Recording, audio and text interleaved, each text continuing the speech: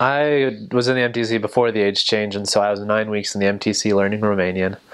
And so I was ready to get out there, ready to get learned, and I felt like I had the language down perfectly. Okay, maybe not perfect, but I felt like I could do pretty well. Then I get out there, and I'm afraid to talk to anyone, whether it be on the airplane, whether it be anywhere else. And I was just, I was frightened like, my MTC district was me and two sisters, and that was it. And so on the airplane over there, they were talking to everyone, having a great time, and doing what they could to spread the gospel. And I couldn't talk to anyone. Um, it was kind of frightening to me. And then we get out into the country, and there were actual Romanians there, clammed right up, couldn't talk at all. Um, which it was kind of it was really difficult for me because I wanted to say things, but I couldn't. And we even went to the park to do stuff like that, and still nothing. Um, that was actually kind of something that it was very stressful for me um, learning because the language I felt like I had pretty well down, but I didn't trust myself enough with it to try it, um, which eventually I, I, overcame it. I mean, everyone does, and I feel like most people do go through that kind of stressful situation. Um, my trainer actually told me, I asked him, "Well, how long did it take you to get to that point?" And he told me so let's say you have a bucket of paint, white paint, right? And you add a little tiny drop of green coloring into it and stir it. And you keep doing that and keep doing that. At what point does the paint turn green? And like obviously there's no like distinct line when you can say that it's green. I mean you could I guess make a scientific one. But it's something that comes slowly. And you have a realization moment that, oh, I do speak this language. And it was really kind of an interesting thing as when I was a senior companion actually. Um, and I could understand everything that the person was talking about, and my companion was in a second transfer had no idea. And I was able to have a really good conversation. And so it's kind of it was a a really it I feel like most people, if not all of them, will reach that moment where you realize you speak the language. It'll take a while, but it was I, I remember that pretty well. The water there isn't terribly great, and the church doesn't try like the church has certain filters we have to get for it, and funnily enough, like they had water filters, and I thought, well, how am I supposed to shower with the filtered water comes out so slow? We didn't need to worry about that at all. That we you can shower in the normal water, but I thought you had to get filtered water and like store it up and heat it up yourself. I don't know. Um, that was a pretty fun one. And then also my first night, I remember we started doing missionary work, like out in the fields, like start going on the street and talking to people. And it was like I was with two people that I wasn't actually supposed to. It was kind of a complicated thing, and so they weren't prepared to do it. So they just went out and talked to everyone and weren't exactly prepared to do that. But at least I thought so. Anyways, it was years ago that this happened but they could talk so well, and I thought, I don't know if I'll ever make it to that point. it was really frightening, it really was. The Romania Moldova mission is two countries, Romania and Moldova, um, with the mission headquarters in Bucharest. Um, there are two languages spoken there. There used to be three, there used to have Hungarian as well, but they switched it all to strictly Romanian and Russian, to my knowledge, at least, anyways. Um, and if you're called Russian speaking, you're only in Moldova, where you serve there in one of like three cities. So that's kind of a small mission for them because Moldova is a tiny country in and of itself. Um, but Romanian missionaries can go either in Romania or Moldova because in Moldova they speak both Romanian and Russian. Like I think it was about beginning of 1900s. Like there was one, a couple of missionaries that went there and preached the gospel and had some converts. And then what happened was communism came and invaded Romania, and all the church was kicked out of Romania.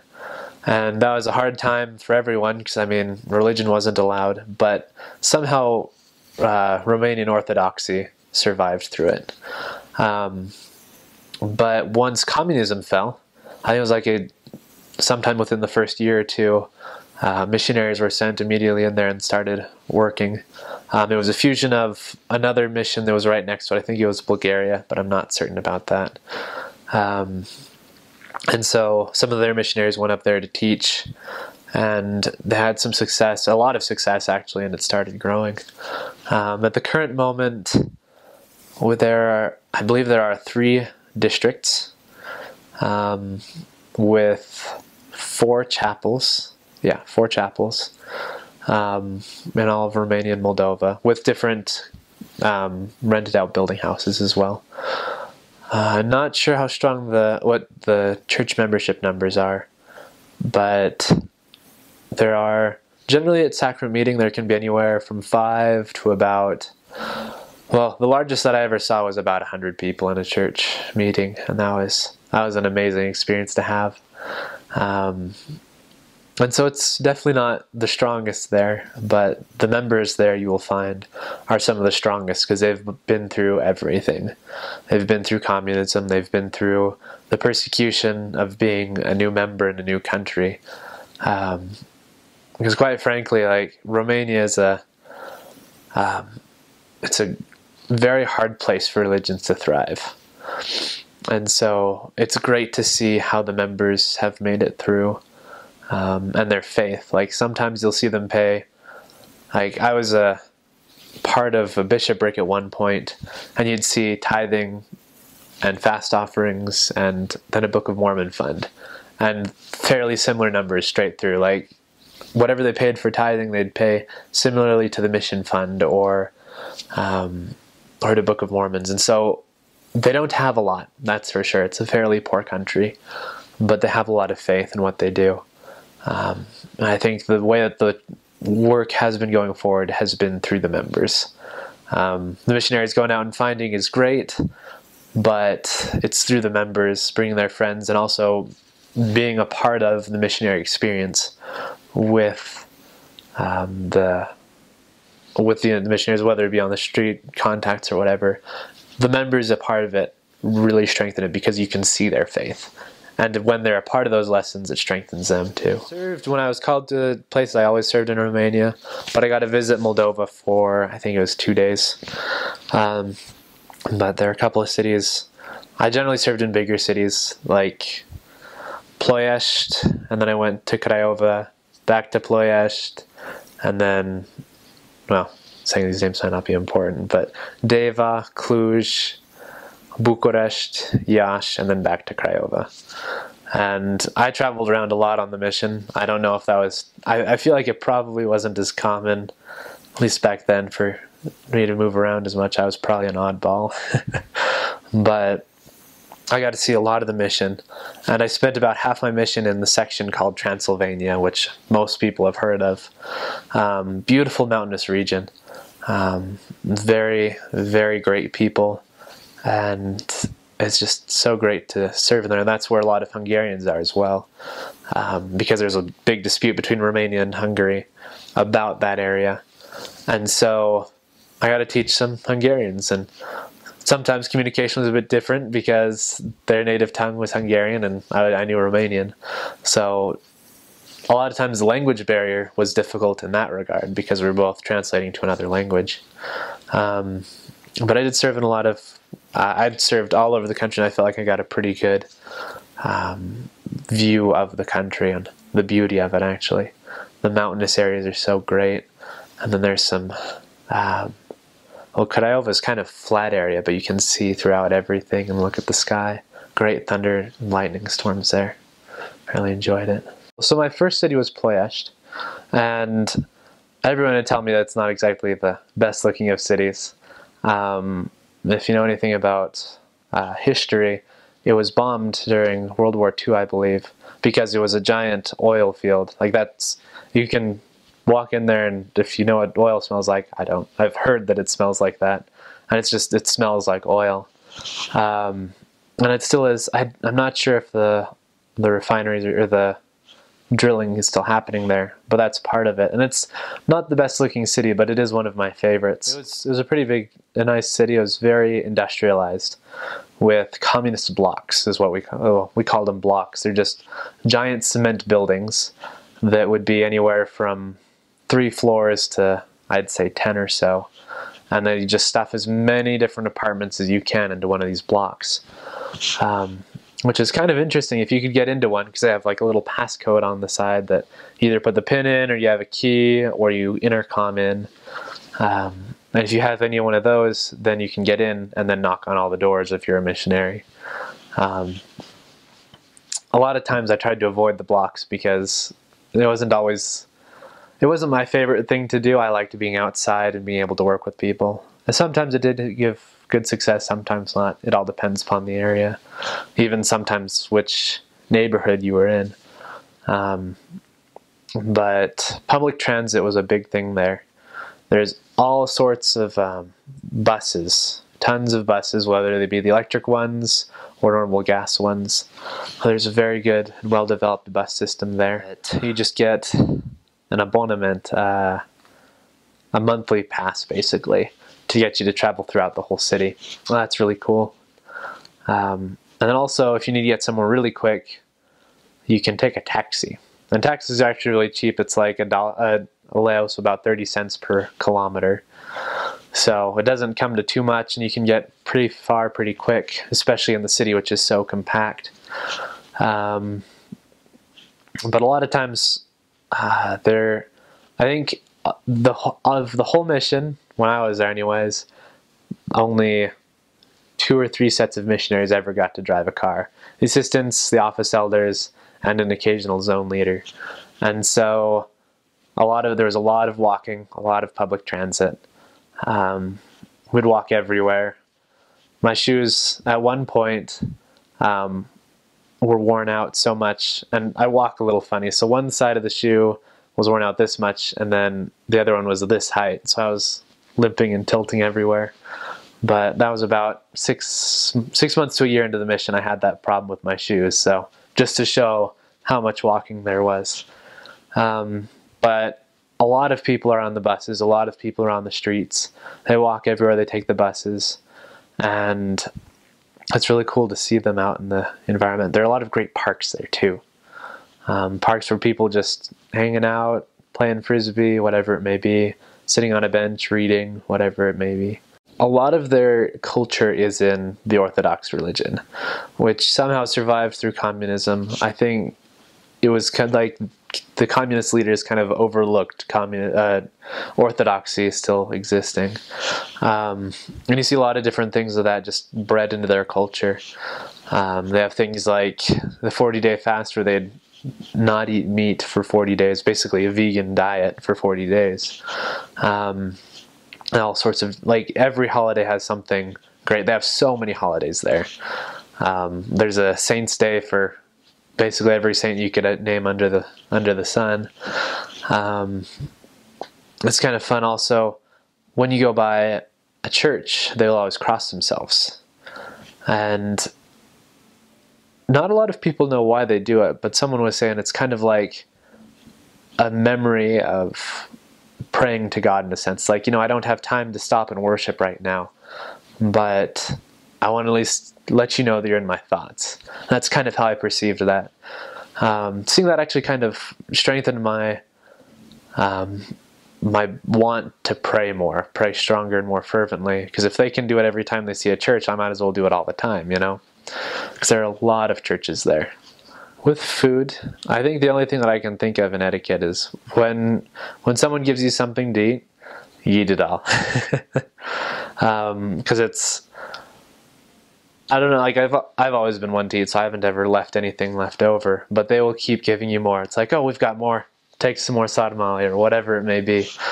Um, and the food is like 99% of the time really really good and so um, i think the only thing is make sure to eat their food try it at least before you say that you don't like it because um, i had an opportunity to try something that didn't look too great and probably wasn't my favorite thing to eat but i was definitely glad that i'd tried it afterwards so for holidays actually i can think of their two largest ones are christmas and easter as the christian religion would denote um, for Christmas, they spend so much time together as a family. It's really awesome.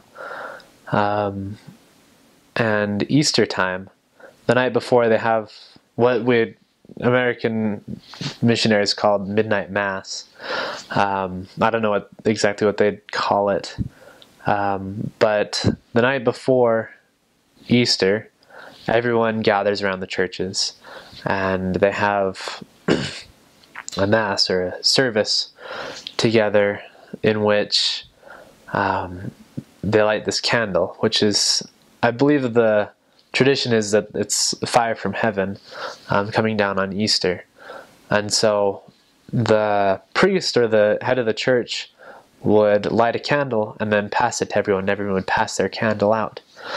And if you made it home um, with your candle still lit, all of your sins would be forgiven, is, the, is how tradition denotes.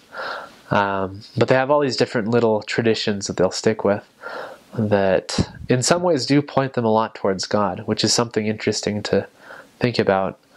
Because um, traditions are great as long as they point us towards God. Romania has really good food. Everything from sarmale, shawarma, um, oh, what those called?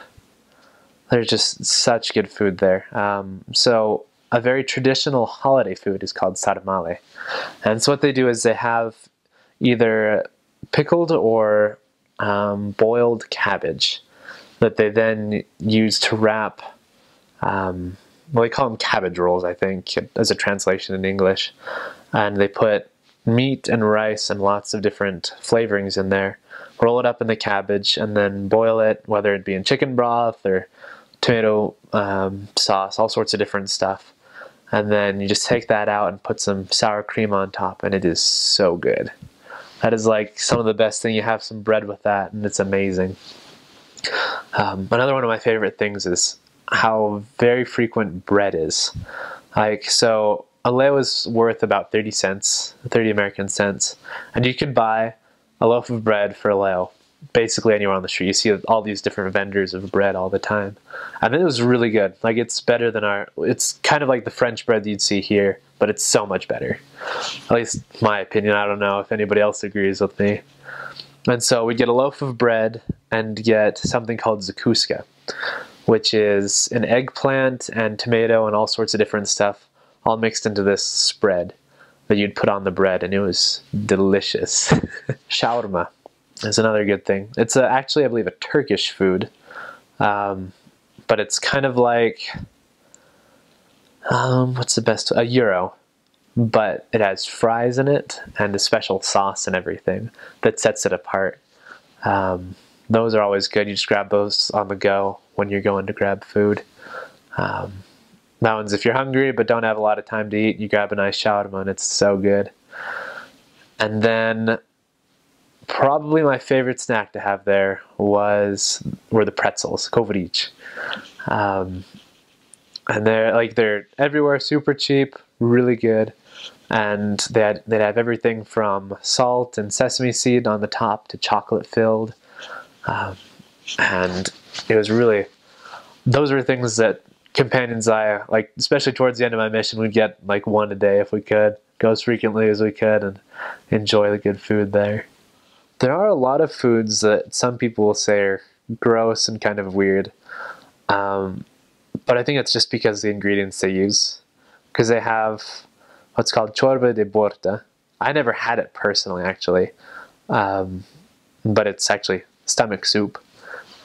And they have the stomach of a, a cow, but I've actually heard a lot of people say that it's really good.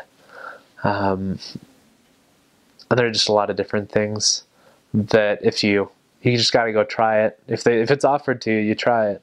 If you don't feel daring enough to order at a restaurant, just wait till someone gives it to you. You might have that occasionally. Um, but always have some pretty good desserts too.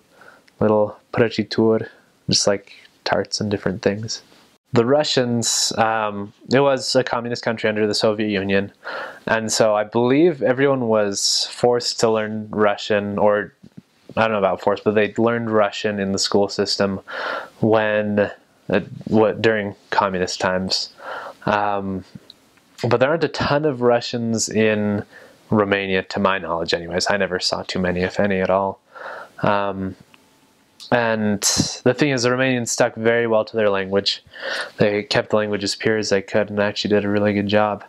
Um, there is influence, uh, Russian influence, in um, a little bit in the language, like da and a couple of other random words that I can't think of. Um, but Moldova, on the other hand, is very Russian influenced. Because um, I believe everyone speaks, well, most everyone speaks Russian, and a lot of people speak Romanian there, depending upon where you live. Um, even to the extent that there's a city that the people don't know how to read the Latin alphabet, but don't speak Russian too well. So they have a Cyrillic Bible in Romanian. Um, I feel like there aren't too many tensions with Russia. I don't know. They, the older people will often say, "Oh, we should still have communism." The younger people are like, "We need to do something better than that." And so, but I don't feel like there's too much tension in that regard. Well, for myself, I never had any instances with any people out there. One of the big things that some people have troubles with are there are a lot of dogs, lots of stray dogs. Um, and they're not a problem most of the time. They're generally pretty calm, just sitting on the grass, just waiting around, scavenging food. Um, strangely enough, the only instance that I've ever had with a bad experience on my mission that I had with a dog was with someone's um, leashed dog, where he actually got he bit me, and I had to get shots for that, unfortunately. But the stray dogs are actually very nice most of the time.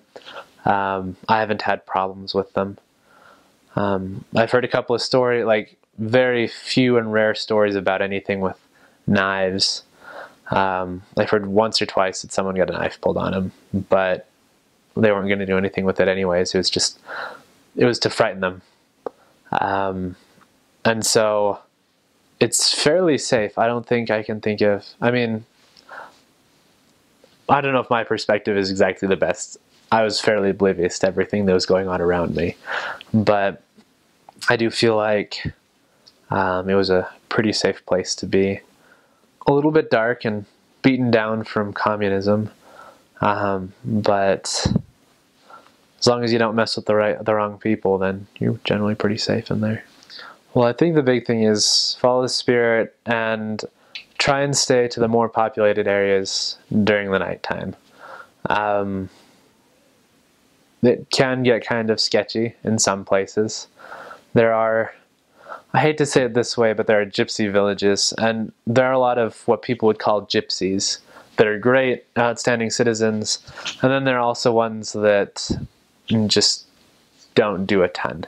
And so when I say that, that's what I'm referring to with the gypsies. Um, that their situation has just been hard and they never even learned to read because of their growth, which causes them to get married at a young age and then um, not have their kids learn to read, and it's just a bad cycle. But trying to avoid those places at night, the places with a lot of the sketchy gypsies, but I feel like those are kind of areas you kind of should realize that it's kind of a bad place to be in. Um, but during the nighttime or whenever it's dark, stay where it's well lit and you should be really fine. I didn't realize how cheap it was until I came back and started looking for like married housing and that kind of thing. But it actually is really cheap there. You could go for, um, I had to do a decent amount of apartment hunting just because we moved around in the places that I was at. But I think most places would go for about a couple hundred euro, which is a couple hundred dollars, um, for apartments, and that's how they'd pay for apartments is with euros. Um, which is fair about one to one rate for um, American dollars. And then food was actually everything else was really cheap. Um, when I was there, 900 lei, which is about $300, was what we'd get each month for everything that we needed. Um, the church would pay, or the, the mission office would pay for housing and utilities and that kind of thing. Um, so all we had to do was worry about transportation and food. And so with transportation, um, a bus pass would probably go for about what would be $30 for the whole month, so about 100 lei. Um, and then you'd have most of the rest of it for train rides, whichever you'd need to get from other cities if you needed to go. Or for food. And you could actually do quite a lot with the money that you had. Um, bread was really cheap. And there were a lot of different things you could just buy and stock up on food really easily. Um, a good lunch, as I was saying earlier, the shawarma. Um, that one costs about 10 lei. So that's three bucks for a wrap, I guess. And it's generally really large and very filling. So that'll get you a full meal. Um, or you'll go to a restaurant and get uh, meniul zilei. So the, the special of the day, I guess, is what it would be. Um, and that would probably cost around 10 lei, 10 to 15, which is about three to five dollars. So really good prices for really good food. One of my favorite things is obviously the people. They are very blunt and very stubborn. And so I had some person, one random day, yeah. well, so I met him my first week in country, and then I met him like six months later. And he told me straight up, wow, you've lost a lot of weight. You were so fat back then. And so that caught me off guard. Like it wasn't offensive to me, but if you're fat, they'll call you fat. Um, if you have something on your face, they will tell you that. Whatever it is, they'll let you know. Um, and that's so fun about them. And they are very stubborn, which is why the members are very strong, but also kind of why the church has had a harder time growing. Um, because they stick to their old traditions, you know.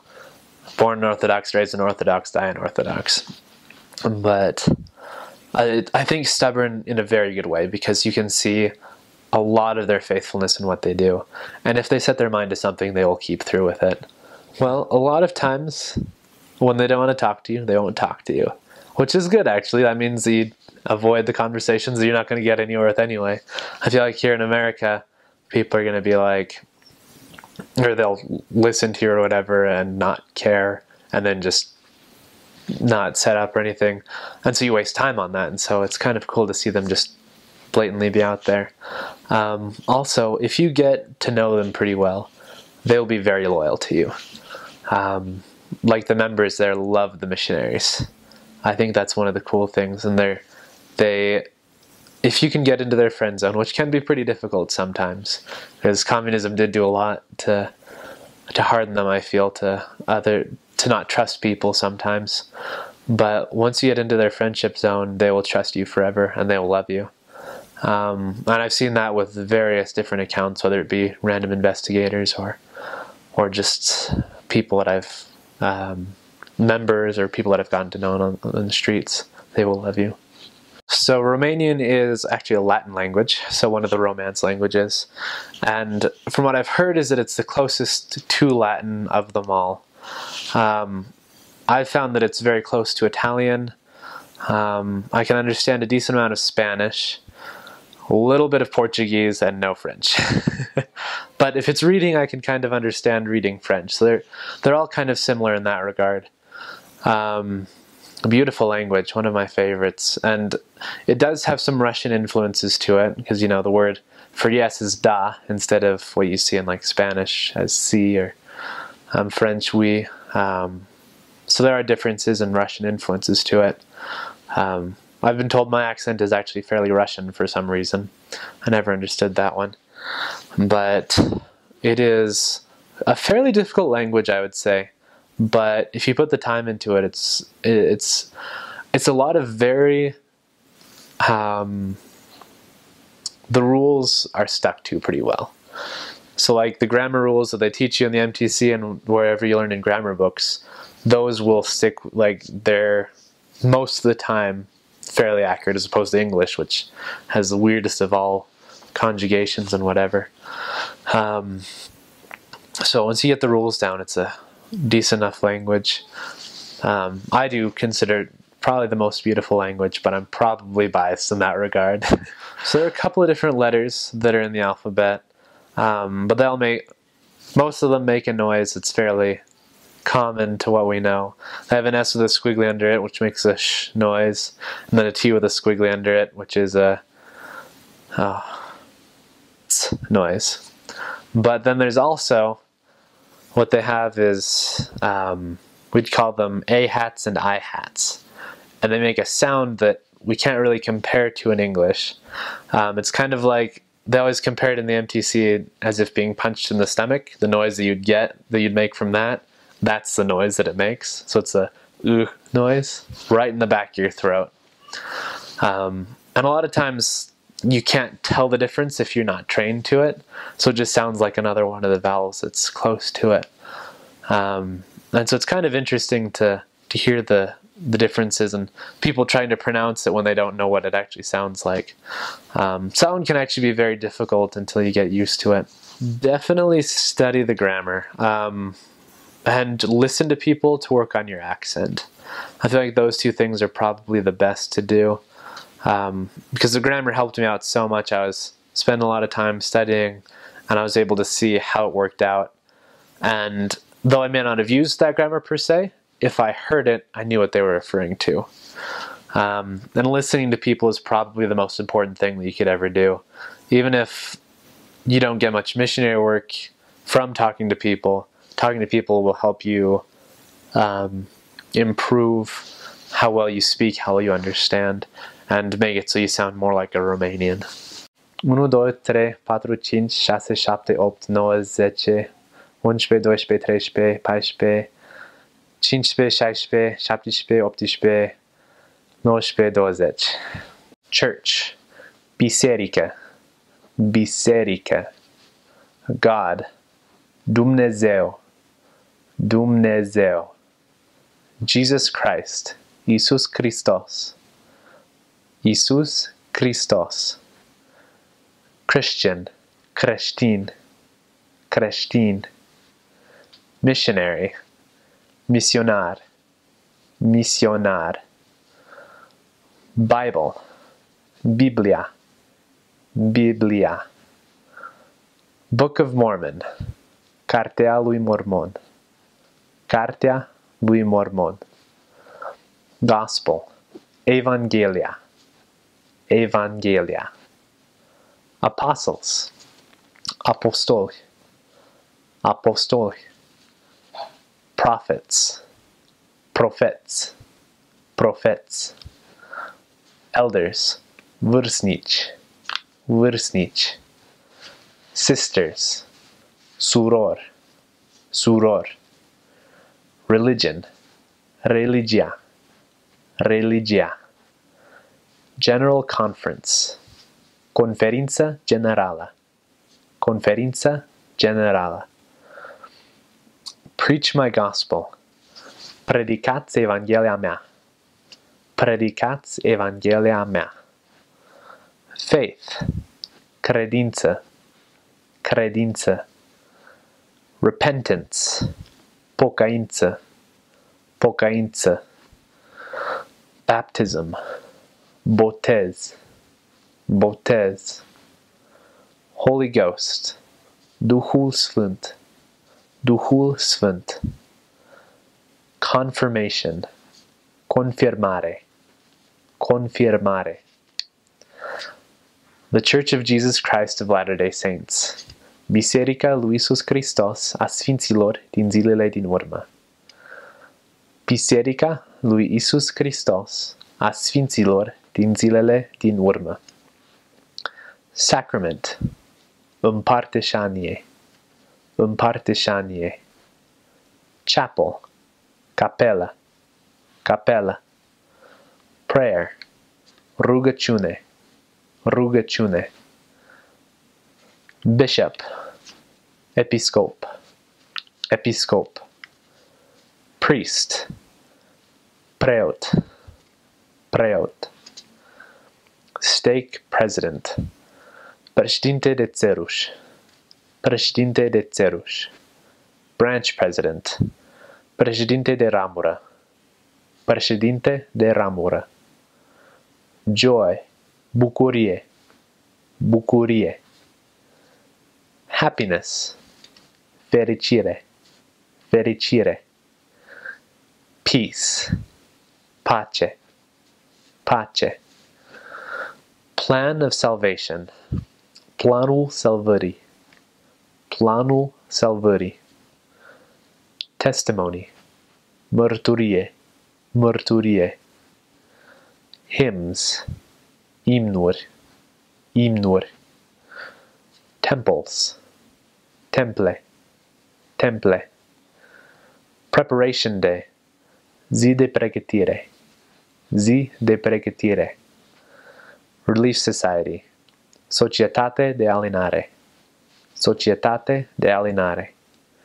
Primary, Societate primară, Societate, Societate primară. The interesting thing is, I can make a very bad Romanian accent, uh, American accent in Romanian, but I don't know if too many people actually sound like that going into the field. Um, but I guess I can introduce myself, right? So, eu mă numesc Versnicul Hickenlooper, sunt misionar de la Biserica von Isus Christos. That's kind of a, a bad accent. Um, and I'll try my best. Um, mă numesc Vârstnicul Hickenlooper. Eu sunt uh, misionar de la Biserica lui Isus Christos.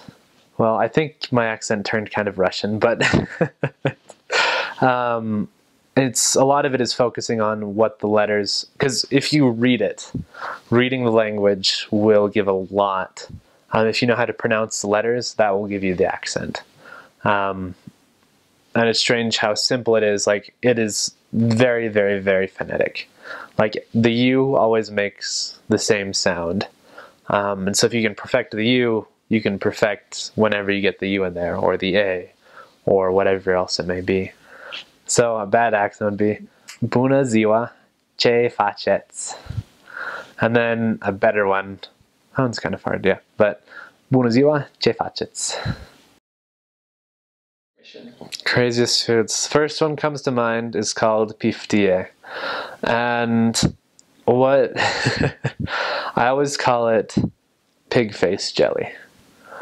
So what they do from I've actually seen someone make it. At least I think they were making it. They get a pig's head, and they take all the every all the meat that they can off of it, boil it in water with onion and garlic, and then pour it into a container and let it congeal till it's a jelly. And not exactly the best food, but it was definitely a good experience for sure. It's not an American food, let's say that. there was one investigator I had actually. We were in the middle of a lesson, and he had literally just kicked the Jehovah's Witnesses out um, because they'd told him that his daughter was, I don't know, that there were enough problems. And so when we knocked on the door, he thought we were the Jehovah's Witnesses again. It's like, no, we're the Mormons actually. You had requested us because he'd asked for a Book of Mormon. And so he invited us in. He was a little drunk. And um, we, we just had a great time with him. He was pretty funny. Um, older guy, love him to death. But at one point, he tells us that I guess you could say I did have a knife pulled on me on my mission. he says that he knows why Christ was sentenced to death. It was because in Jewish law, or in Roman law, if you killed someone, you were sentenced to death. And so he takes out a knife and it's like, I have an example here for you. And he comes up to me and he's shaking this knife and he's like, if I were to kill you right now, um, I'd be sentenced to death, right? And he's shaking the whole knife at me the whole time. And I understood what he's saying, but my companion was a second transfer companion. He didn't understand the language at all. He saw this knife coming out and was frightened to death. It was kind of funny, but it was completely safe. We had a good time. He invited us over a couple of times, and he actually um, we committed him to not drink, at least before the next lesson, like right before, so we'd be sober minded. And he said that he would, or when we met with him again, it's like, haven't touched a drop of alcohol since we met last. And it was like a week later. So that was really awesome to see. Um, this is one, I don't know if anyone actually made it because they made a very good distinction of it in the MTC, but I think someone did at some point. So there's the word um, kopi, which is children, and then kopi, which is copies. So you have to be careful when you're on the street and you don't ask people, oh, where do I make copies? and you accidentally say the other word. So luckily, there's another word for copies, and you can say Xerox was Xerox. So that's a safe word to use, but that's a good one that you hear all the time. So first winter in the country, um, it was like completely dry, no snow. Like I got in in January and there was nothing until like halfway through January or end of January. I don't remember when, but it just snowed a ton. There was like two feet of snow. Like there were cars parked on the side of the road, and you couldn't tell that they were parked there because there was so much snow covering everything.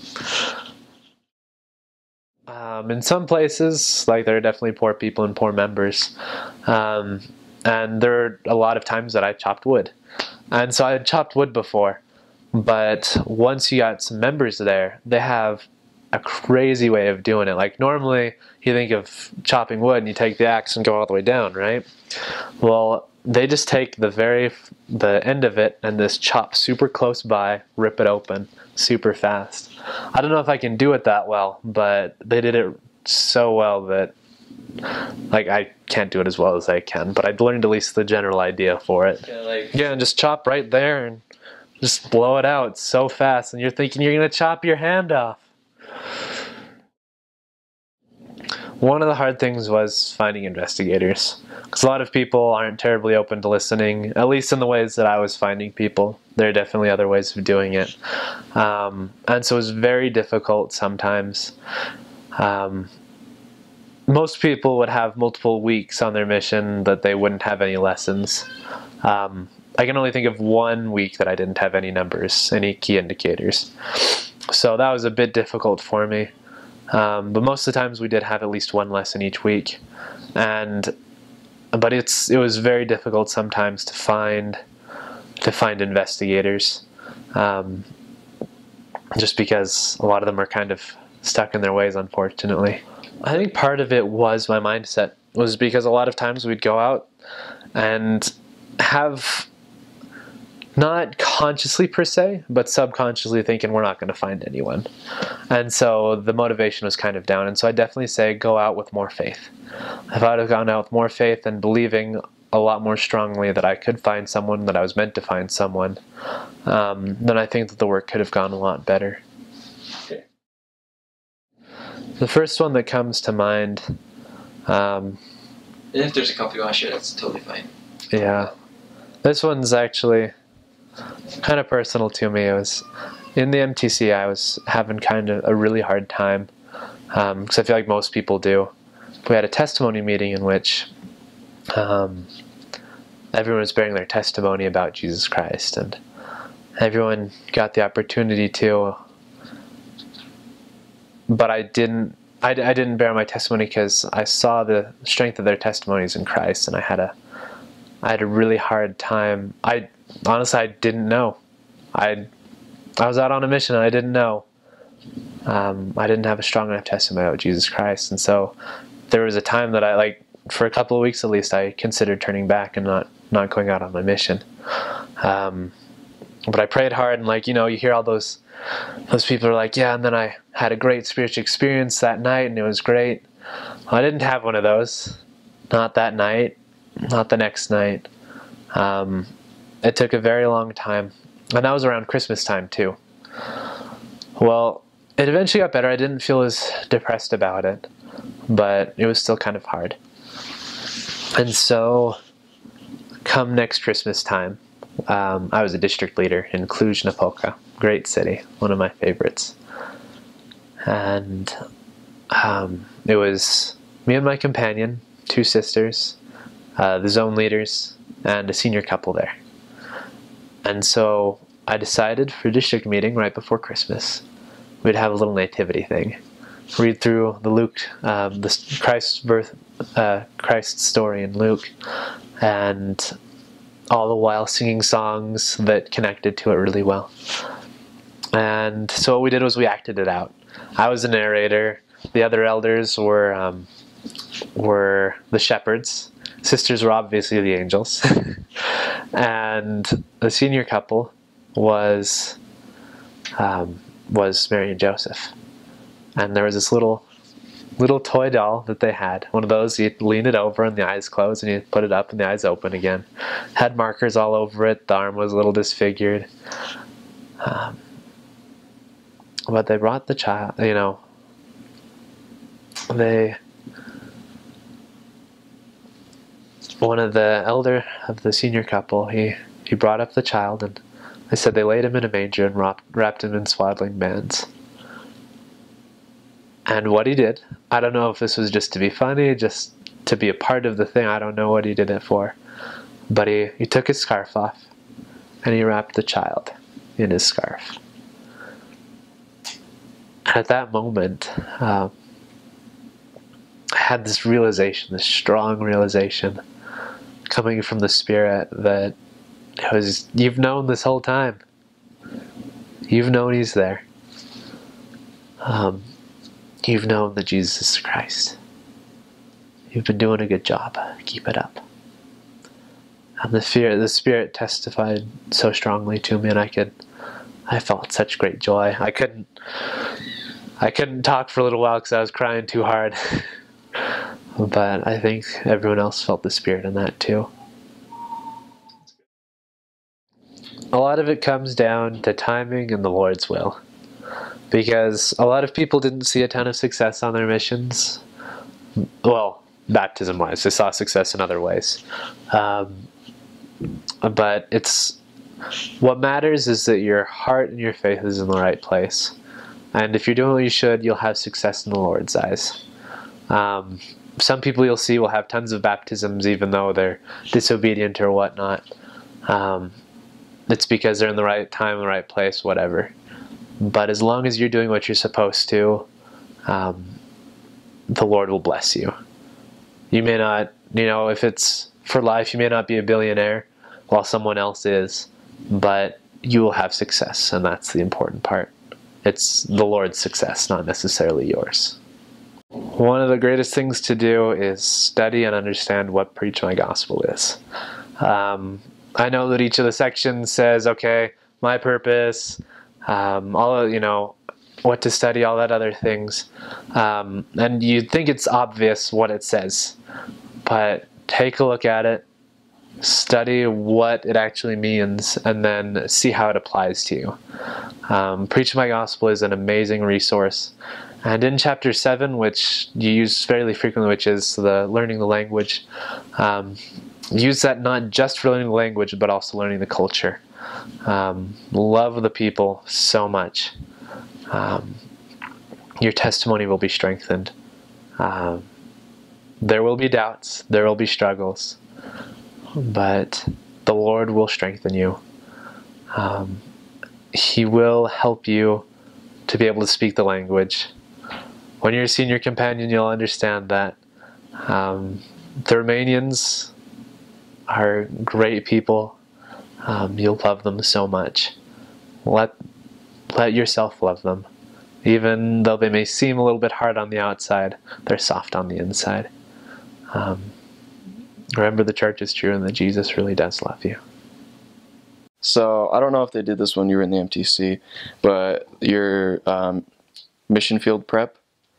One of them, uh, they have a guy with a balloon, and you know when and you get a mission call to places like a lot of stateside missions or South America, or, like those missions have really high success rates. But in Europe, it's a lot lower, um, just because of culture and uh, people are different there. And uh, I remember they they had this balloon, and they're like uh, asking people that are going to these supposedly successful missions. They're like, "How did you feel when you opened your call?" People are like, "Yeah, you're gonna have a great mission." And then and then he points to a he has somebody that had a mission call. I think it was to um, uh, Orlando, uh, Scandinavia. I forget what it's called in English.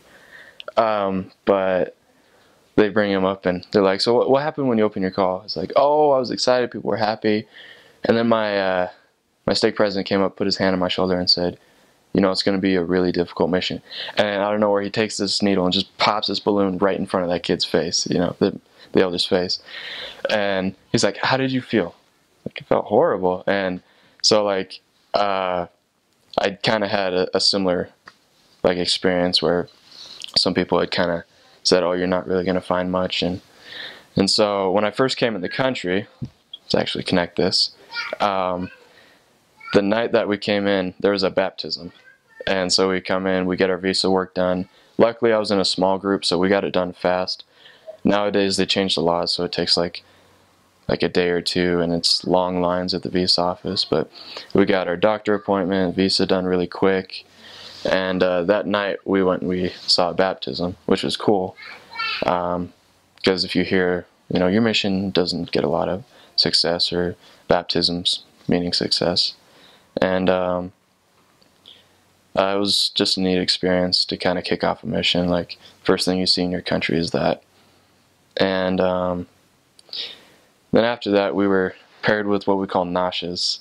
Every Romanian missionary has a naș. It means a godfather. And so the night um, you come in the country, you don't get your trainer yet, because our at least with my mission president, you don't. You uh, he likes to interview you. He considers who he wants for trainers before, and um, he announces you know who's going to be trainers. But he doesn't like to pair you up with people until after he's interviewed you. And so I'm, I'm assuming that's the same pretty much in every mission. But for that um, little day or so gap between when you come in and when you get your trainer, you stay with uh, another set of missionaries, and one of them is your Naș or your Nasha, godmother or godfather. And uh, I remember my Naș and his companion were not getting along too well. And we show up in the apartment. I got there at like 1.30, and it was almost like I think it was a quarter to 11 or so when we got back because things had just been delayed, but we didn't have any public transportation passes, and so we had to like walk and take taxis and things like that. So we got back a little bit late, and uh, I just remember I was starving. I was like, "Do you guys have any food at all?"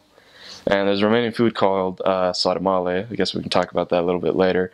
But uh, he had like three sarmale in the fridge, and these were like the small ones, like this big. And there was me and one of my uh, MTC companions. We were a threesome in the MTC. They'd been in the fridge too long. They were cold. I was starving. I ate it. I was like, this is disgusting. And it was just a horrifying experience. And wake up in the morning still starving. We didn't eat breakfast, of course, because uh, I didn't know know this at the time, but they were taking us to the mission president's house and we were going to have breakfast there with them. But I was clueless to that, so I was like, man, I'm hungry. Like, this is terrible. I had two little tiny cabbage rolls that were frozen and just, uh, but, um, so I'm walking down the street and there's a little thing called a gogoșerie and it means like a donut shop, but it's more like, uh, fry bread. And then they put all kinds of like jams or chocolate things in it. And I was like, okay, I, I stopped the group. I was like, guys, I'm hungry. I'm getting one of these. so I got it. It was delicious. It was the, the first Romanian street food I'd ever had, and it was incredible. Partially due to extreme hungry hunger, and then the other part due to like it's just a really good thing eat. It's just it's delicious. Um, and then a little further on in the day, uh, so we're driving around with the APs um, the day before, and they're talking about the trainers. And they're like oh there's this one trainer you know and uh, he's great like really hardworking you know just always smiling. Everybody loves him. Happy happy go lucky guy okay? And we knew there was three trainers so there's one. I was like okay i could go with that guy. And they're like oh the second one. Man he is just crazy. Like he's the funnest guy to be around works really hard. And i was like you know i like zany humor. I could totally go for that you know like that'd be a cool cool trainer and then like uh, we get to the visa office the day before, you know, we're driving around, and we get out and there's no comment on the third trainer. I was like, I don't want to be with that guy. Like the APs don't have anything good to say about him. I don't want to be with that guy. And uh, so of course the next day I found out I'm with that guy. and uh, turns out that they just forgot to say anything about him because they were getting out of the van because like he was the coolest trainer ever. But I was just at first I was like, I do not want this guy because every missionary I think goes into the mission field with some kind of complex of like, I'm gonna fix this mission. It's it's me, like some kind of pride problem or something like, you know, I can I can change this mission and. Uh, when I heard that about my trainer and I, I saw him and things like that, I was just like, you know, I have to fix this guy. Yeah, because I've been a missionary so long, I can fix this guy, right? Anyway, so coming in the country, that's what happened. My first area I was assigned to an eastern part, east northeast part of uh, Bucharest. It's called Obor. It's an incredible place. Uh, your apartment is one of like ten communist blocks that are attached together, and then there's a huge um, agricultural market called a piață right next to it, and so it's a great place to start. Lots of people and fun area. So Romanian culture, there's two things you need to know right off the bat. First is communism fell like 20 years ago, but you're still gonna notice it. Um, everything's built out of concrete, everything. So that common image that you get of like communist Russia, like massive apartment complexes built out of concrete. Yeah, you live in those. You that's where you do your tracting, um, and they're they're not that bad. So like they they don't have that bad of a a rep that they kind of people talk about. Uh, the second thing you need to know is the Orthodox Church. Um, it's like paramount in their culture. I know in other countries you hear about like the Catholic Church being super predominant and like controlling a lot of things. Uh, I would uh, kind of sounds like arrogant, but I would say the Orthodox Church has a much stronger grip on the culture and, and the people in Romania. They hold really strong to their tradition. They believe that Andrew um, came and brought them the gospel and that they've had the church since. So they got their roots, like from one of the 12. So they stick to it. Um, but because of that, a lot of their culture reflects around both these things. So you kind of have the conflicting ideals of when communism said no, no to religion, and then when it was released, people got their religion back, and so they stick to it a lot stronger. They don't want people taking it away. And so I'd say probably 99% of people you run into are going to be Orthodox. And they'll say, I was, the, the classic line you hear, I was born Orthodox, my family's Orthodox, and I'll die Orthodox. Um, but it's actually, it's a good faith, and they actually keep it for, for a fairly good portion of the population. So as far as culture goes, um, there's a kind of rift in generations. The older generation, you'll see a lot of um, the thought process rotates around the, the communism, but um, and the younger generation is more like free and kind of um, ecstatic and more. Uh, we we use a word called șmecher, and it means kind of like a smart aleck, but it's because there's these like conflicting. There's like a rift between their uh, their history and these generations right now. Other facts about culture is uh, Romanians care a lot about their family. Um, I didn't think that. I always thought the family was kind of a strong focus in the U.S. And then when uh, I went to Romania, like family is number one to them. In the United States, you know, you grow old, you get older, you become an adult, you you leave home, you go make a family and like or you establish a family and you move away from your parents kind of. In Romania, you stick close to your family. A lot of times like even after you're married, you'll you'll stay with your parents just, or they'll move in with you, and you know you don't separate. Um, they stay pretty close together in family. They really value that. Um, if you're worried about like walking on the streets and doing missionary work, or uh, even just being like a tourist or something, Romania has very low levels of violence. Um, I was never threatened while doing my missionary work. Um, while I was there, I heard of two stories, and they were almost provoked. And so, like, uh, if you're just smart about like, don't be out too late after dark, or don't go in sketchy areas, there's like really nothing you need to worry about. Oh, do's or don'ts? Yeah, there's uh, just one thing. Um, use a lot of public transportation. People are always out. As Americans in public, we're really boisterous and loud. And so you'll hop on to like um, a metro or a subway, and you know if you're with the um, a couple other missionaries, you'll be talking, and everybody will be quiet and just look at you, because like you know it's just uh, I think if you're from the east part of this country, like you'll understand a little bit better because it's a little bit more like that. But we're so used to just being uh, free and like uh, in social social perspective. Like you speak all the time, and uh, so kind of a don't is um, just don't be kind of like a public nuisance. I know that sounds interesting because you're supposed to be a missionary, like, and follow the rules and be representative of Jesus Christ. But uh, a lot of times, like, being uh, having too much uh, laughter or being too loud in public, it's um, they kind of look down on that a little bit. So, like, be yourself, enjoy that, and be happy, but also be kind of conscious of like uh, when you're being kind of like noisy. If you notice everybody's staring at you on the tram by, that's there's probably a reason for that. So maybe you could tone it down or not laugh so incredibly loud or something.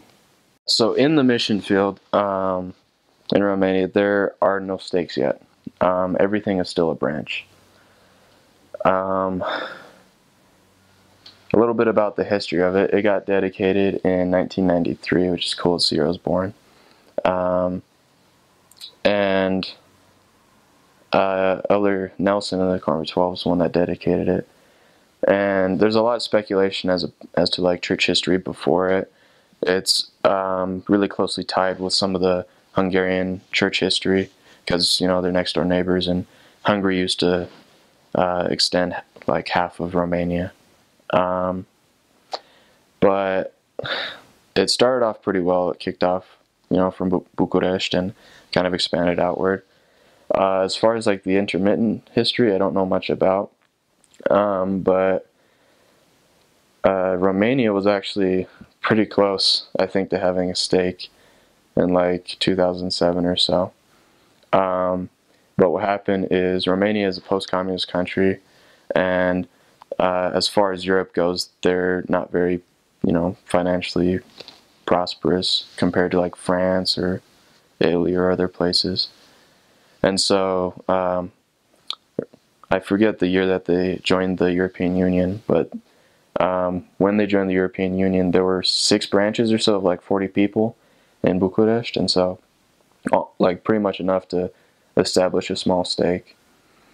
And um, they joined the EU and the membership just dropped and they all left. Um, and so there's kind of a reset button hit on Romania. It was really interesting. You can look at a lot of um, the first few transfers of my mission. I did a lot of less active work trying to find people, and so many of them are just they've moved, they're gone, um, just took off to other countries for better opportunities. And so um, right now the in Bucharest, the main city, there's two branches. There's one in Mihai Bravu, which is Michael the Brave, and then Pandurh, which is like it means guards or something. It's a form of guard, but um, one's on the east side and the other's on the west. And there's chapels in both those areas. Um, the attendance varies anywhere from 30 to 60 people a week and um, the Pandurh branch has a lot more like internationals, more English speakers. There's a, um, I believe there's a few people from Asia and other countries as well. So, um, as far as the rest of the country, the branches are typically pretty small, 20 to 30 members. Um, for about six months of my mission, I um, I served in a town called Bacău. I didn't know it at the time, but I guess it was known as the armpit of the mission and uh, I got sent there after training, and I was told I had to be branch president, and I was just barely 20 years old, and if you've ever been told something like that, you're just like, I have no idea how to do this. My companion had been in that area for a while and was pretty anxious to get out because he had spent the winter, and at the time there were only like six active members that came, um, or six members a week that came they kind of alternated on who came. Uh, and so it was a tough area. That's that, and there's a couple other cities that like really struggle um, and have really low attendance. But um, mostly due to that thing I mentioned, a lot of people left the European Union or people move a lot, and so we don't have uh, church presence or missionaries in a lot of areas. And so I think there's only like 16 areas or somewhere around that. And so if you consider that we don't have a huge presence in Romania right now. There's about, um, I think there's somewhere around 3,000 members on lists, but active each week, I think in the whole country there's six to 800 at the most, at least when I was there. Um, so there's that. Uh, as far as the languages go, uh, almost all of Romania speaks entirely Romanian, everything. If you get more towards the east or in the Transylvania area, those are, Transylvania is like around the mountains.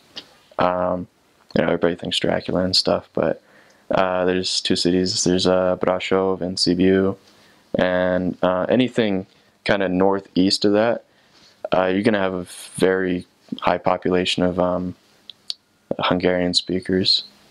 I served in an area called Oradea, and the branch there is phenomenal. Half the half the members are returned missionaries, which is kind of a good and bad thing because if you're trying to do missionary work, you're getting told how to do it from like eight different perspectives and mission types, and just anyway, it was interesting. But um, so um, when I was in that city, I I started studying a little bit of Hungarian because I'd been there, been in the country for a while. Because um, in that city, you go and there's like half Hungarian, half Romanian, and uh, it's kind of hush hush, but there's well over 50% like native Hungarian speakers. Everybody there speaks Romanian, but uh, there's a huge amount of Hungarian speaking. Uh, if you head more towards the east part of the country and get closer to Moldova, you'll run into a Russian speaker here and there, but it's still mostly Romanian. But Moldova itself is like split down the middle, not geographically, but um, you have a lot of Russian speakers and a lot of Romanian speakers. Uh, a lot of people speak both, but um, each person kind of has their preference, and so there's both kinds of missionaries up there. And um, uh, it was definitely interesting. I had a companion from Moldova. He was one of the hardest working guys on the mission. Just uh, it was funny. He really got motivated to like do self improvement and things like that. So uh, he was a great role model. He's actually uh, the guy that trained me to, to be branch president. So that was that was fun. I love Romanian food. I have very rarely had any bad Romanian food, and it was all just phenomenal. Um, they kind of have like two sides to their food. There's a whole bunch of like street type of food, you know, that you're gonna get out of vendors, and like their traditional food. Um, start off with the street food because I just I love the street food. There's a thing called shawarma. If anybody uh, like serves around uh, Turkey or uh, Hungary and stuff, they're gonna have thing. It's called kebab in other places, but um, they take a tortilla type thing they put French fries in it. Oh my gosh. And then uh, they have like a meat shaver. They have a little spit rotating. It's like a vertical spit. And they either do like shaved chicken or shaved beef or like Euro meat, depends on the place. And they put all kinds of sauces and veggies and oh my gosh, phenomenal, fantastic. And they're like pretty cheap. My last area, uh, Alexandria, it's like south of Bucharest. We uh, I'd been cooking my whole mission. Like uh, we don't get fed a lot over there, so like you cook most of your own food. And so I was kind of exhausted cooking my own food, and we had been switching apartments and moving and stuff mid transfer, and so it was obnoxious to do that anyway. And so I got a shawarma about like I'd say probably four times a week that transfer, which wasn't too healthy on my, you know, but it was delicious and fantastic. There's all kinds of other street foods, but uh, as far as traditional food goes, they eat a lot of pickled stuff. So it's been like uh, soaked and you know just pickled stuff, cabbage and veggies. Um, if you're not used to pickled things, it's it takes a while to get used to, but they're actually really like the homemade pickled foods. They do a lot of vegetables. They're really health conscious, uh, which kind of contradicts me eating all that street food. But they're really health conscious about the foods that they eat. Um, the first traditional food you need to know about is sarmale. Um, one is called a sarma. And um, what they are is you take a pickled cabbage leaf, or it could be grapevine leaf, just some kind of pickled green leaf, and you cook rice and some kind of meat together, and you put spices in it. You wrap it up, and then uh, you can either some people boil them in like um, we call it red sauce, just some kind of tomato sauce, or you can like bake them in that. But um, basically, they're just these little bite-sized things of delicious goodness. Like those uh, sarmale I had on the first day were not a good representation at all of what they were. I love sarmale. Uh, we're gonna be doing a Christmas party, and like the only thing everyone wants is sarmale, and so that's like um, one of their main entrees. They do ardei umpluți, which are like stuffed peppers, kind of the same thing, but they use bell peppers. Um, okay, they eat bread with everything. So if you have a bowl of soup, you eat a loaf of bread with it. If you have sarmale, you eat a bowl of bread with it.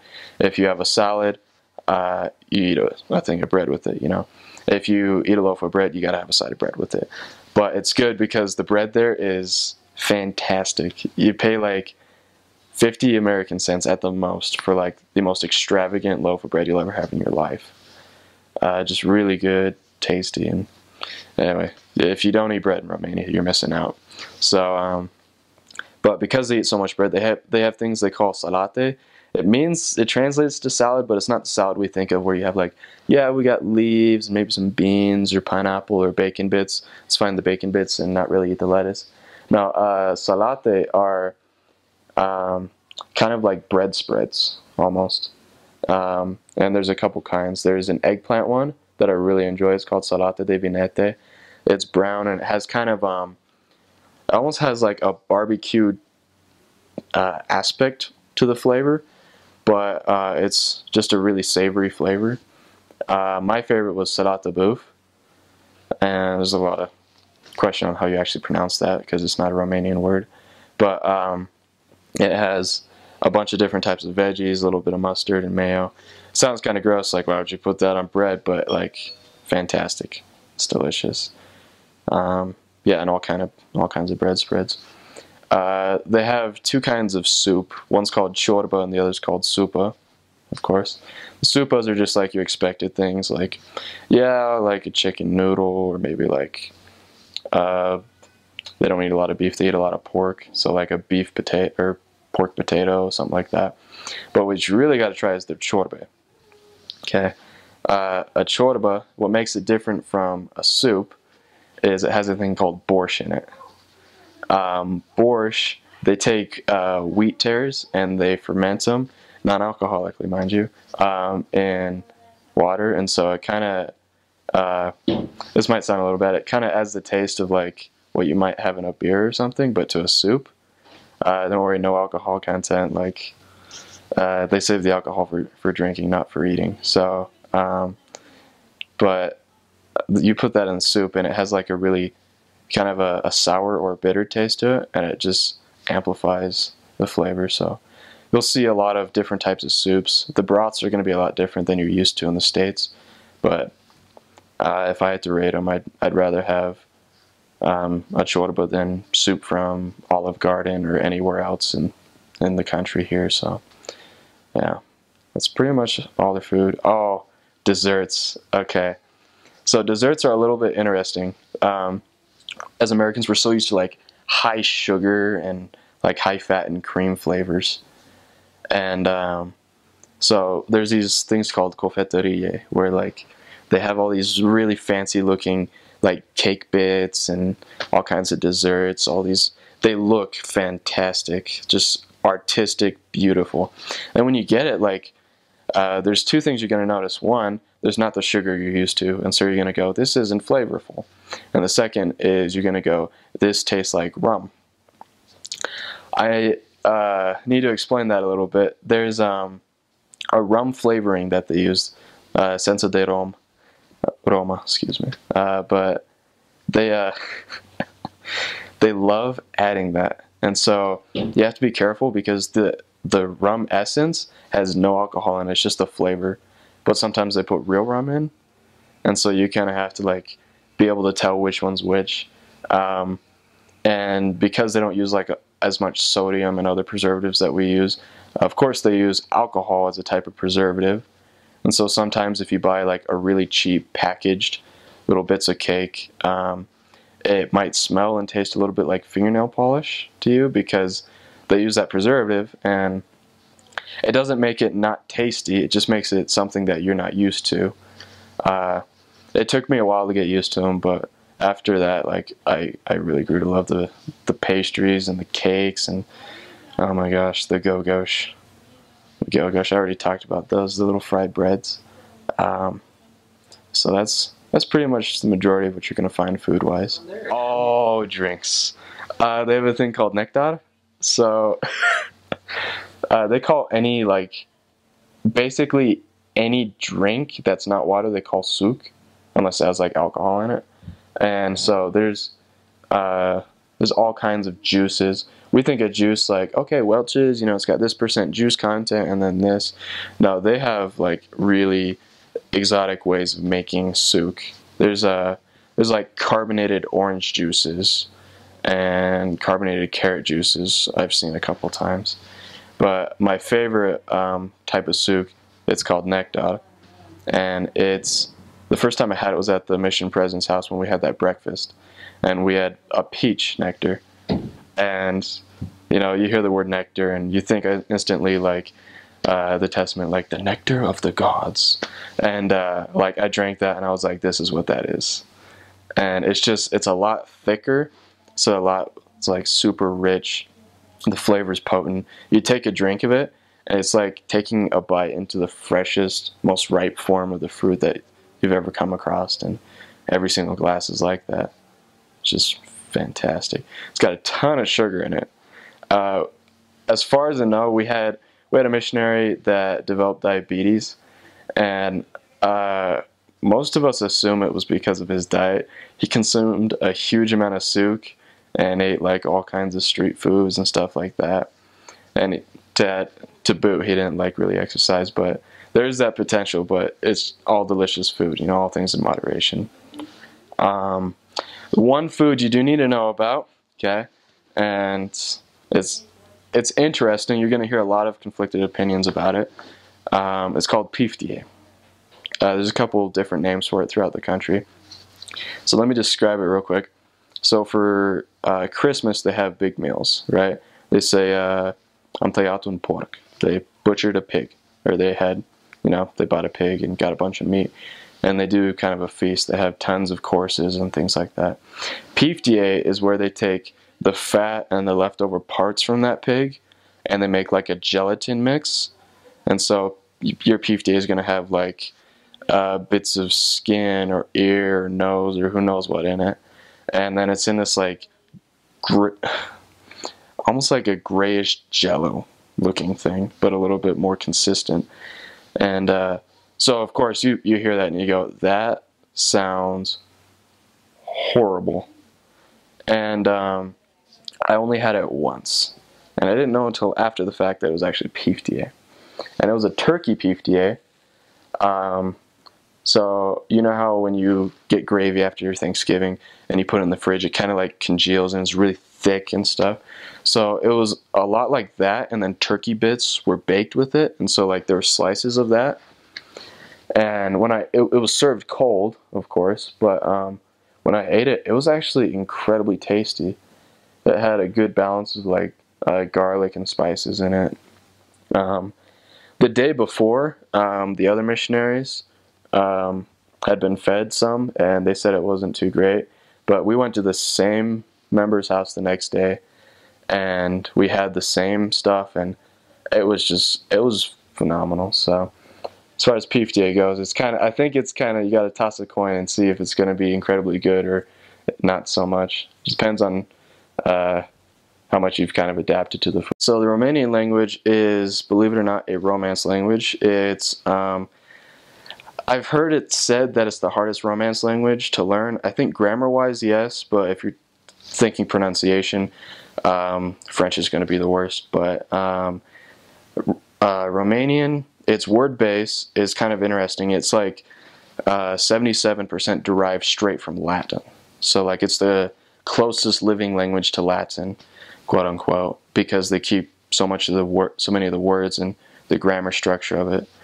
Um, But the other portion of the language is going to draw from ancient Slavic words, and then um, a little bit of Hungarian, and then the original Dacian language. Romania was called Dacia. If you look on the Bible map in the Book of Mormon, or not the Book of Mormon, in the, the Bible, in the Bible map, uh, there's a country called Dacia on one of those maps, and that's Romania. And so that's kind of the origin of, of the language. They used to write with the Cyrillic alphabet like hundreds of years ago, and then uh, they went through a French uh, kind of not renaissance like they wanted to mimic a little bit of French culture, and a lot of people were learning French, and so a lot of their Slavic influences kind of uh, passed away, and and came this huge influx of French influenced Latin um, into the language, and so you'll see if you know a word in English that has its root in French, I guarantee it's going to be almost exactly the same in Romanian. Um, like one of the words for foundation, okay, foundation, fundație, like it's almost exactly the same, just change a couple things here and there. Um, and so if you're wondering how to say something and you don't know a word, you can always guess and try and go with like a fancy French word. If it ends with shun in English, usually it's like etsi or etsiune. So as far as like learning words, um, uh, you're going to have both an easy and a hard time. The pronunciation, everything is exactly phonetic. I know a lot of languages say that, like in Spanish, they say it's precisely phonetic, but it's not. You have a silent H and a couple letters that mimic the sound of each other. Romanian is every single sound is always pronounced. There's nothing that isn't. Um, the only exception is when you pluralize things uh, and it has an I at the end, you just, instead of saying E, it goes like a, or like a, is just different pronunciation on that, but it's still pronounced. So everything is precisely phonetic. Um, it's a case language. It's one of the easier case languages. Um, what a case language means is that a word will change its form depending on its part of, or its function in speech. And so you've got like six or seven cases and then a couple moods and voices.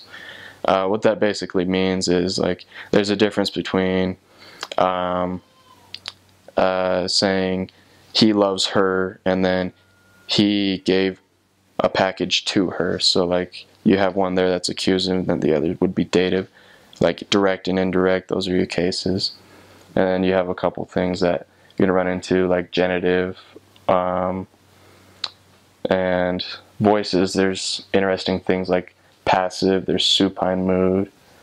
Um, so the grammar, there's plenty of grammar to learn. Um, if you understand your own grammar first, like if you know English grammar fairly well and you know how to use it correctly, learning the, the grammar of the language shouldn't be too difficult.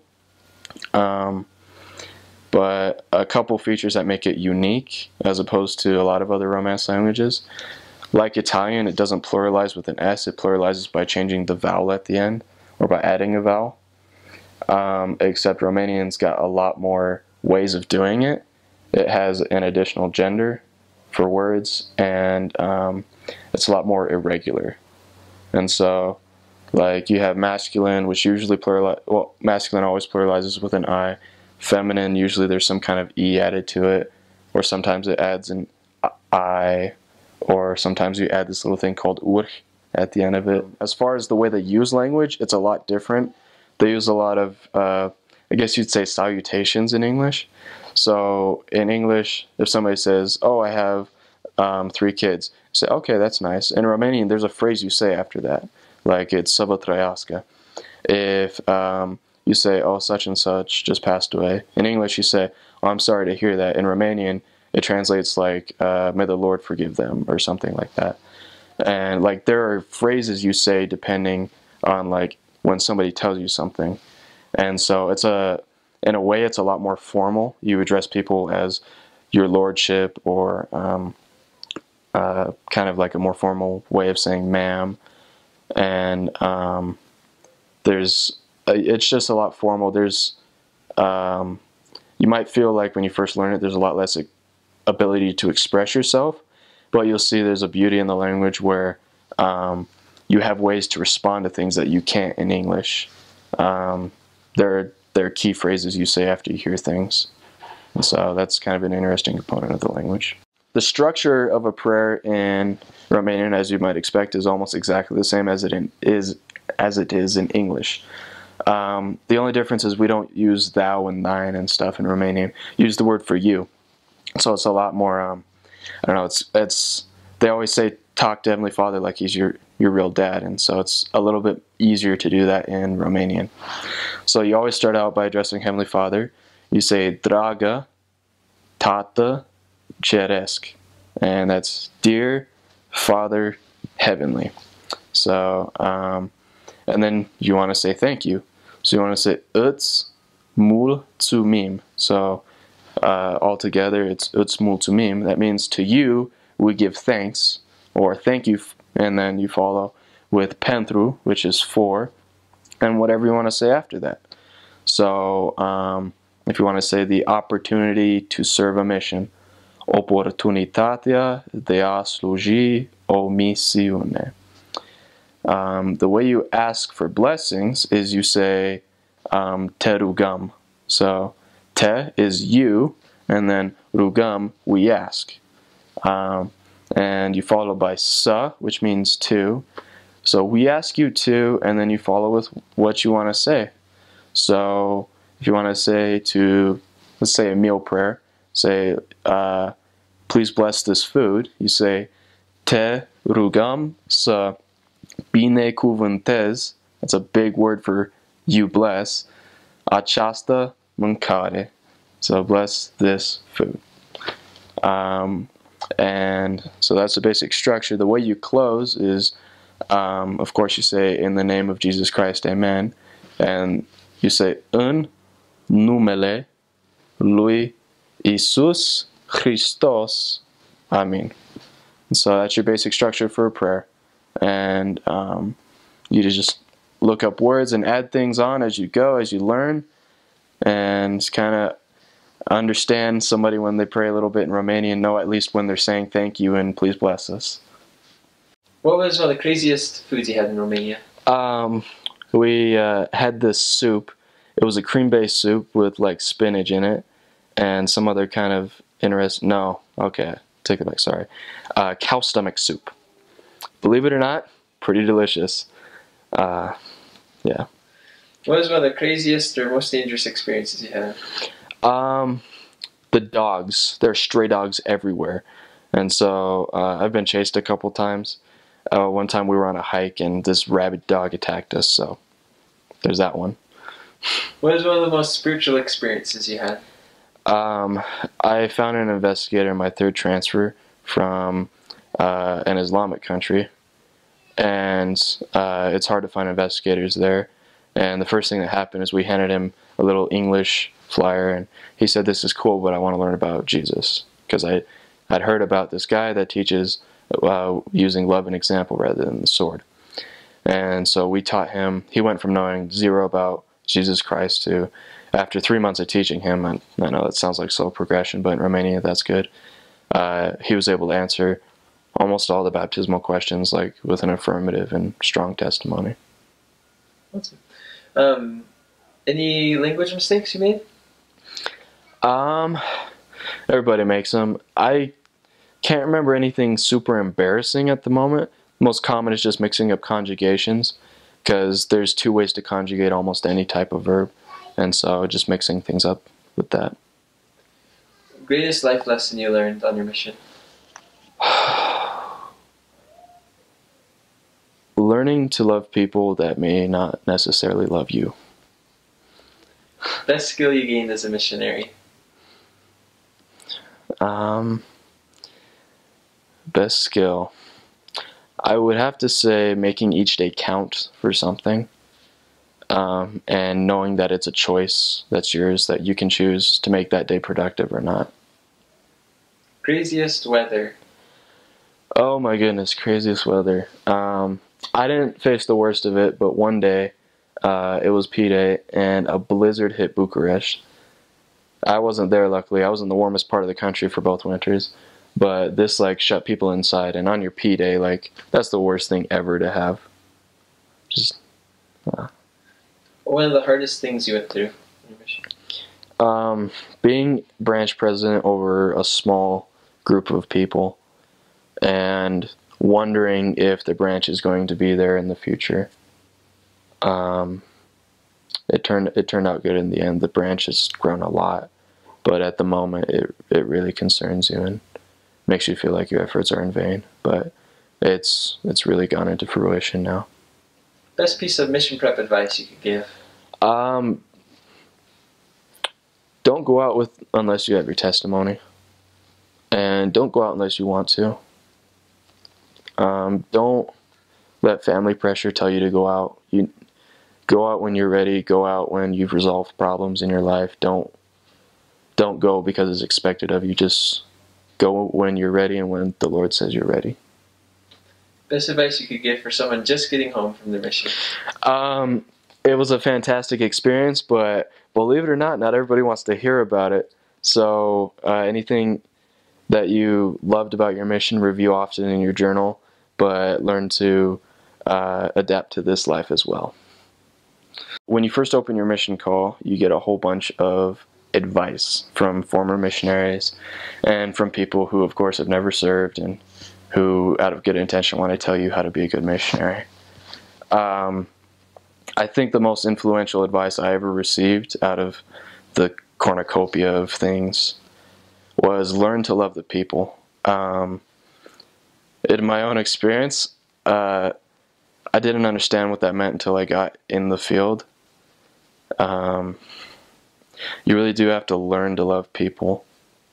When I first got in the mission, um, I was so eager and excited to do the work, and uh, I I wanted to follow that advice, like love the people. And um, my trainer pulled me aside one day and said, uh, "You don't love the people," and I was like. Oh, you can't tell me I don't love the people. Like, I gave up my life for two years. I gave up everything. I could be done with my bachelor's degree by now. I could be this or that. And uh, I was just really defensive about it. Like, you can't tell me I don't love them. And he said, no, like, you want to love them, but you can't, you, you can't love them yet. You don't know them. You don't know their trials. You don't know their history. When somebody rejects you and says no to um, an invitation you've given, prompted by the Spirit, it hurts. And the first thing you're going to want to do is justify and say, well, I don't have to love that person. And uh, it's really natural to feel that way. And um, a lot of a lot of bitterness can develop. But as you learn more about uh, the hardships that uh, your mission people have gone through, and um, I know it sounds cheesy, but see them as Christ would see them, you really learn how to love them. Um, it's not something you can just switch on and off like it's like it's a light. Uh, it's something that grows, and as you grow to love your mission people, uh, you may not see your success rate change because that all depends on the Lord. Um, but you will definitely see a different uh, type of blessing. You will see the the guidance that you're given to talk to people in greater abundance, and you'll see the effect of your testimony a lot stronger on the lives of people. So I would definitely say um, love the mission people, but learn to love them.